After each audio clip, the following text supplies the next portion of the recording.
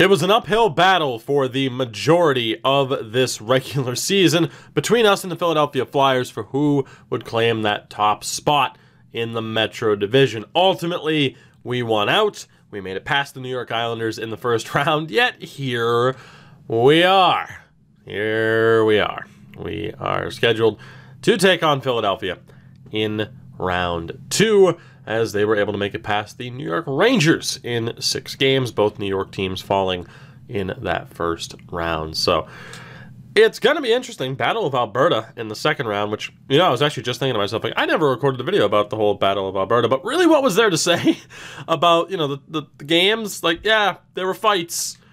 It was fun. It was entertaining. I'm a Neanderthal that still likes fights what do you want me to say? I mean, as long as the combatants are willing, you know the dangers you're getting into. Not saying, you know, that I want players to make it to the league solely because they know how to throw hands. But yeah, I'm, I'm a bit of a Neanderthal in that way. Sorry, Dan Carcillo, but I still think, you know, if if it's adults who sign up to do this, you, you know the risks at this point. So I don't know. Anyway, controversial hockey take. Our lineup is looking pretty darn good, if you ask me, up to this point. Again, the controversial addition of Svechnikov notwithstanding, but four points in six games for Tarasenko, four for Kravtsov, four assists for uh, Andrei Svechnikov. We'll see what he can do here in this next round. Hopefully, get on the board in terms of goals. Of course, Kaprizov, Malkin, and Ovechkin, arguably our best line all season. Third line with Kavanov, Barbashev, and Dadonov was phenomenal against the Islanders. And then Mikheyev alongside Korshkov and Marchenko. Not too bad either all things considered. Defensively, of course, the Provorov Sergachev pairing looking great, as they did pretty much all year. Alexeyev and Romanov looking fine. Uh, looking to see a little bit more, perhaps, out of Mukhamadullin and Zadorov, but it's not bad, you know, per se. And then goaltending wise, Yaroslav Askarov, the 916 save percentage. Hopefully, he continues to play to his best. So, you know our lineup. You might love our lineup, you might not. Hopefully, we'll come to uh, learn and love this lineup, or at least love this lineup, because, hey, it could be a very interesting year for us, or we could be set up here for a very disappointing end to our season. And when you're going up against a lineup like that with center depth like that, yeah, no, there's a very good chance this could end up going horribly for us. You have Andre Burakovsky, point a game in the first round, defensively pretty shaky though. Morgan Frost, four points and a minus three, and then five points for Johnsson. So very interesting top line for the Flyers, looking a little bit defensively shaky. Have Farabee, point a game, four goals, but a minus one. Claude Giroux at this point, 37 years old, and Voracek. So defensively, I'm shocked. The members of their top six, I believe all but one, not every single one of them had a minus rating. Which again, plus minus isn't great, but it does get, you know, just kind of go to show like, oh hey, yeah, you were out there offensively. You know, was it power play points that was really doing the job for you, or are you just that bad defensively? Voracek does have some power play points that kind of lends uh, credibility to that theory. Connor Zary, I think it's Zary. It might be Zary. I'm probably going to say Zary for this series. Two points in the minus two. Nolan Patrick looking good so far, a little bit defensively shaky. And then Sergey Chistov. Sergey Chistov. Sergey Chistov. Who, you know, we made the right choice in getting rid of him, in my opinion. You know, he's the one that allowed us to bring in Provorov. Is he going to come back to haunt us? Fourth line is Isaac Ratcliffe, Kevin Hayes, and Travis Konecny. So, pretty shocking to see Konecny on that fourth line. Obviously, well-rounded, solid, some game changers with Frost and Farabee. Could be problematic. Defensively, I mean, in theory, would be okay here. It's Gostisbehere and Nick Leddy. Cam York next to Cody Ceci, Mitch Van de Sompel next to Chase Priskie. How did they make it out of that round? Cat a hat on 928. That's how they made it out of the first round. Yeah.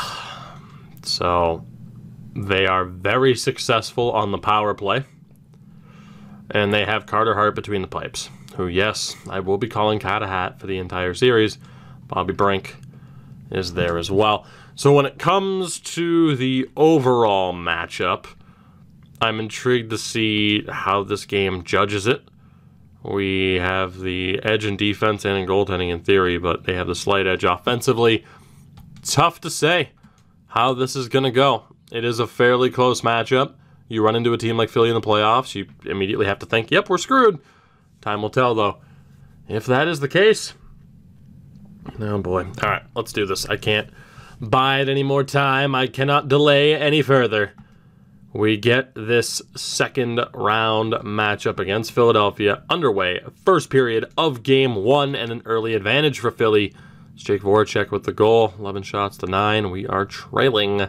Second period, we are still trailing. Kirill Marchenko was able to score. Andre Burakovsky restores the lead. Relatively close in shots. Down 2 to 1 here. As we're able to tie it fairly early into the period. Alex Ovechkin on the power play, but Andreas Johnsson on the power play is able to get it right back. We still trail by one. Good to see Ovi scoring, though. Power play goes to waste. We get a quick one of our own that we can't do anything with, but Nikita Kavanov can score. What a job done by him to step up ever since we made those deadline moves.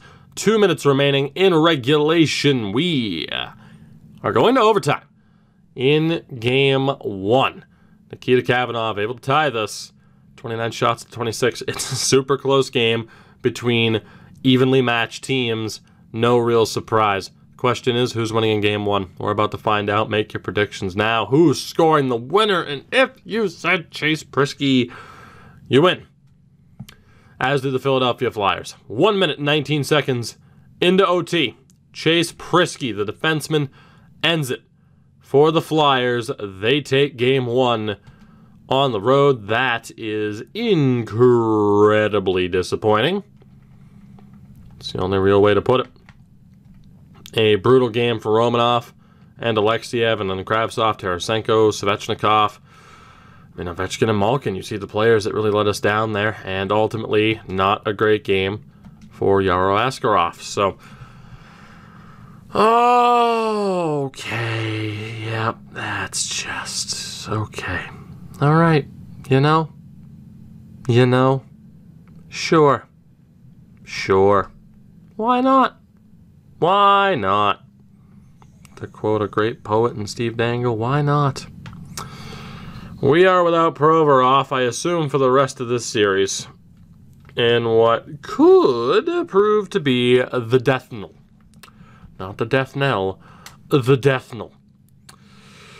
I want to keep Mukhamadullin and Zadorov together. Ultimately, that's a tremendous third pairing. Uh, so Dmitry Kulikov is going to step up. And, uh, you know, we're going to put him with Mikhail Sergachev to keep the other pairings together. So this is where Nikita Zaitsev would have come in handy. Instead, it's the veteran Dmitry Kulikov who will step up into this lineup. And that will have us hoping for the best here. As obviously Jordan Martinook needs to take a seat in favor of Marchenko. So that could be devastating. Absolutely could be. It looks like Provorov could be back if this series goes the distance. Actually, he should be good to go for game five. I thought he was going to miss the whole thing. He should be good to go for game five as the Glasgow Clan have been knocked out of the playoffs in round two, swept by the Utica Comets. Decent season for them, though, of course, with some of the prospects we have in the minors. So no Provorov in game two, of course, the player that we you know gave a king's ransom to Philadelphia for. Let's see what happens. First period, scoreless, 12 shots to 10, relatively, relatively uh, uneventful period. Second, and Philly has the lead. It's Priskie again. 30 shots to 17 now. That's relatively eventful. We're down by one in desperate need of a goal. As we are on the power play here, nothing doing though, in danger of losing the first two games at home, which means if we win game three, perhaps it's just the home team never wins. Although if we, you know, lose if we lose game three, then that would be a nightmare. Speaking of nightmares, 38 shots to 26 and a 26 save shutout for say it with me now Three, two, one. Cat a hat. Wow. that is not what I expected. Askarov did a phenomenal job of keeping us in this game, but ultimately we could just not find the back of the net, and that is because of Carter Hart. outscored 5 to 3 over the first two games of this series. We are trailing here. Heading into game three, I am petrified to not make chances, but you know what? We're going to see if we can battle back here. You'd like to think a team of this caliber would. We're about to get the answer as far as what type of series this could be. A loss here would be devastating. First period and an advantage to the Russians. Andrei Svechnikov on the power play, his first goal of this postseason run, 13 shots to 8. That is exactly the start that we needed. Second period, goal apiece. Andreas Johnsson tied it 38 seconds in, but Gino is able to get it back. 24 shots to 18, 2 to 1 on the board, heading into the third period of what is basically a must win game for the Russians. Let's see what we can do here. The insurance goal would be nice, and we get it. Kirill Kaprizov, 3 1 halfway through the third period. Power play again for the Russians, Vitaly Kravtsov. And that'll do it, I would hope. I might have spoken too soon. Farabee with the goal. Power play for Phillies killed off. Under two minutes remaining, and we are in the clear. 4 2 is your final in game three. Thus far, the home team is yet to win, and we need to hope that that trend continues heading into game two. Malkin, Kaprizov, and Svechnikov leading the way for this team. As you see, Evgeny Malkin, three point game absolutely tremendous. Mukhamadullin and Zadorov weren't exactly great. Fair play to Yaro Askarov. Another strong performance. Thankfully, this time the offense in front of him was on point. Kulikov has first line time and he's complaining about ice time. Great game. I mean, what more do you really want me to say about that? You have. No, you know what? No. Let's, let's take a look at this. Let's do it. Let's take a look at this. Let's do it. You have a top six defenseman who's getting 21 and a half minutes of time on ice, which is more than any other defenseman other than Mikhail Sergachev. And he's complaining about ice time. I don't know what his personality type is or whatever, but I mean, come on. And, you know, let's see if we can find his personality type here. Should no, okay, you can't even see it. Here's the thing. I will admit that I'm a little bit salty lately because there was still no changes for franchise mode in the most recent patch. They focused on gameplay. For me, the gameplay is still not for me. I just, I don't think it's good. I don't think collision detection, puck protection, puck pickups, uh, the checking system, there's just a lot that I don't like about the gameplay. And the fact that there were no franchise mode changes as well. Uh, when we see outrageous trades like we always see, and even something like this where it's like there is no excuse for this player to be complaining, yet they're complaining. You know, I'm just saying. Just saying. Had he been complaining when he was a healthy scratch? Sure. He's not a healthy scratch anymore. Not cool. Not cool. What is cool is that we won game three. What would be even cooler is if we can win game four. Will the trend continue or will the Flyers have their first of potentially three opportunities to close out this series in game five. We're about to find out. First period, and a decent start for the Russians. Power play goal for Gino. Farabee gets it back. Nikita Zadorov scores shorthanded. Who the hell saw that coming? 14 shots to 8. Zadorov with the difference maker thus far. Unbelievable. Second period, I mean, we're still in the lead. Chistov was able to tie it. Kirill Kaprizov able to get the goal back. 21 shots to 20, yet 3 to 2 on the board. Cap doing incredibly well thus far. And that Chistov goal concerns me. We go to the third. Vladdy able to double up the lead. It's now 4 to 2. Although Kevin Hayes says it's not quite over yet. 13 and a half to go. There's still a long way to go in this game, although we're halfway through the third. Can we do anything here? Power play opportunity. Damn it. Three minutes left. Can we please hold on, please? Thank you. Through four games in this series. And tell me if you've heard this one before. The home team has yet to win. It's either the home team wins all of them or the home team gets to win. It is yet to win. English is my first language, believe it or not. Not a great game for some members of this team. Askarov wasn't phenomenal, but he was good enough. And this is essentially a best of three from this point onward. No Provorov in game five. Still no Provorov in game five. He is good enough to play, but we are not going to play him unless he is 100% because of how likely he would be to get hurt again. So we keep the team the same. Fifth game of this series. Who will take advantage? Can we snap the home team losing streak?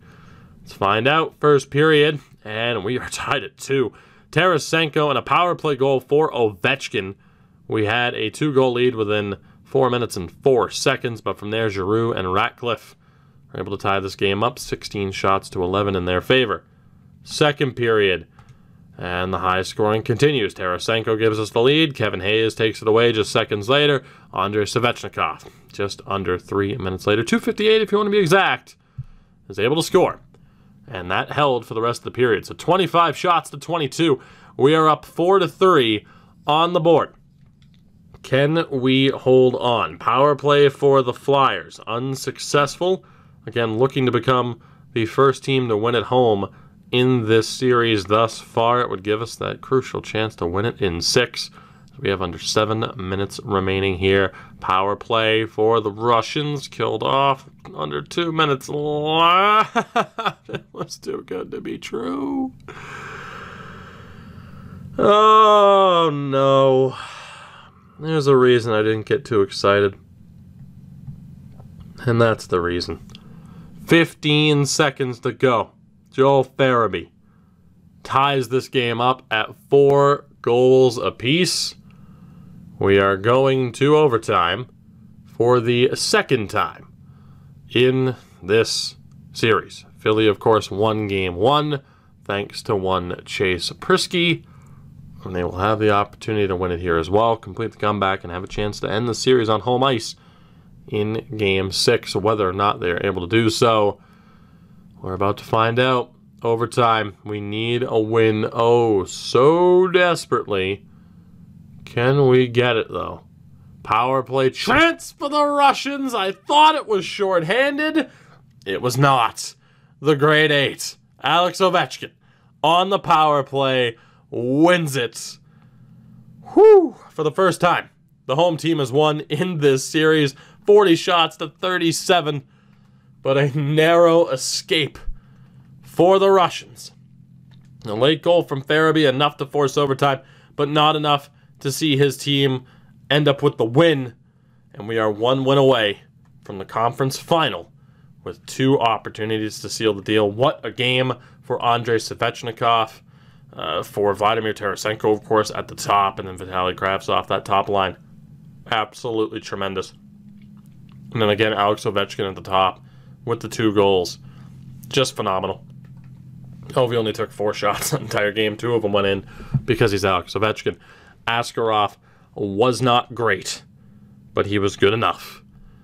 Because of that, we have a chance to end this series. Three straight wins. Provorov will be back in the lineup for this next game. I like that the only change I have to make to the forwards here is swapping Ovechkin and Svechnikov, making that change to get one Kirill Marchenko in the lineup, although apparently I hit the wrong button. I didn't think I did. There we go. And then defensively, perfect. We're ready to go. We are ready to go. Detroit up 3 to 2 on Chicago. Calgary winning the Battle of Alberta. Toronto right now ahead of Carolina. Game 6 lineup stays the same. Lineup is stronger now with Provorov back in the lineup here. It's game six, our first of two opportunities to punch our ticket to the Eastern Conference Final. Can we do so after an overtime winner from Alex Ovechkin? First period, and the early advantage, Ilya Mikheyev. With the goal, shots were just about even, but the former Leaf has us up 1 0 through 20 minutes. Second period, scoreless, beautiful, extremely beneficial. We go to the third. Can we get the insurance goals that we're probably going to need? No disrespect to Askarov. I just want to play it safe. 12 minutes left. Not that I'm counting down every minute possible. Under seven, power play for Philadelphia killed off. Four, three, two, one. Yes, Gino, I thought they scored again. Four unanswered wins for the Russians. And we overcome a 2 0 deficit to eliminate the Flyers in six. Yaroslav Askarov, 31 saves. Absolutely phenomenal. It doesn't feel real. But the Russians are moving on. Six games over Philadelphia. Askarov shows up when we need him to. And we are going again to the Eastern Conference Final, where we will be playing the Toronto Maple Leafs. Calgary awaits the winner of Detroit and Chicago. But we make it past Philly again. They were a tremendous challenge all through the regular season. Tarasenko, point a game, you know, up to this point in this postseason run defensively. Eh, nine points for Kravtsov, could be a little bit better. 11 points in 12 games for Svechnikov. If Kaprizov, point a game. Gino, still well over a point a game. Ovi at 10 points. Kavanaugh, five points and a plus five. Very happy with that. Six points for Barbashev. 11 points still for Evgeny Dadonov. He was a little bit quiet in that series. Fourth line, Mikheyev, four points. Two for Korshkov. And seven for Marchenko. Defensively, Provorov, just two points, though. Through the eight games he's played, he's a plus six. Sergachev still looking okay. Alexeyev and Romanov still doing okay. And Mukhamadullin and Zadorov again. Could see a little bit more out of them. But the key there Askarov again was able to overcome a couple of meh games to start a series. He heads into the conference final with a 924 save percentage. The Russians move on. We already know that we are playing the Maple Leafs in the conference final. Over in the West, though, it will be the Calgary Flames and the Detroit Red Wings.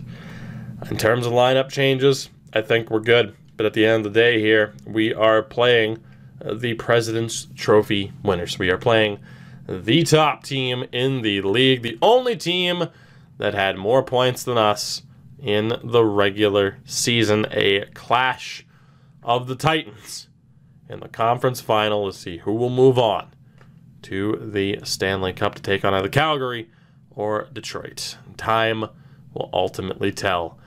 Thank you very much for watching as always. Greatly appreciated. Drop a like. Hey, subscribe if you haven't already. That'd be pretty damn cool. Greatly appreciated. And a shout out to my patrons over on Patreon. Again, your generosity is tremendously appreciated. I will see you guys in the next one. The biggest series to date for the Russians. And it just might be a mountain that we're not able to climb.